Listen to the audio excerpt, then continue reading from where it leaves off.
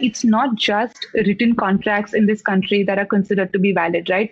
Even communication is a form of contract because it's a contract by conduct. It's a contract by that is in a sense in writing, right? When you're exchanging communication with the other person.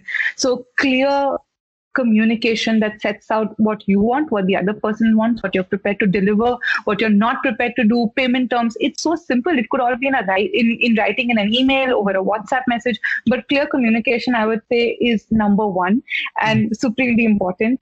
Uh, number two, I would say, is um, you know to take prompt action. And i think this i feel very strongly about.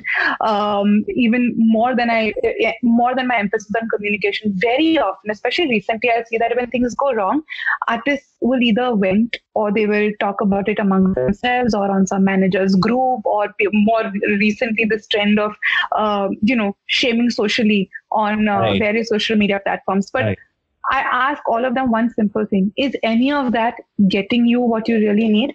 If you want your song to be taken down that you think is infringing, is a rant on social media getting you that? No. If you think money is owed to you, you were not paid, paid is, you know, complaining to your co artist or your manager getting you that? No. Why do we not take prompt action?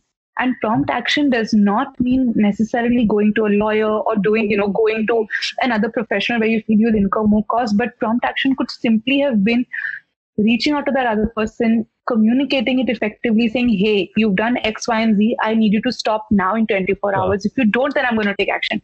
Right. Nine out of 10 times when I turn around and ask someone, did you tell the other person? The answer is no.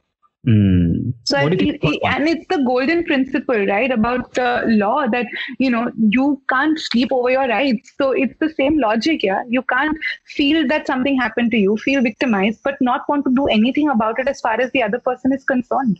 True, true.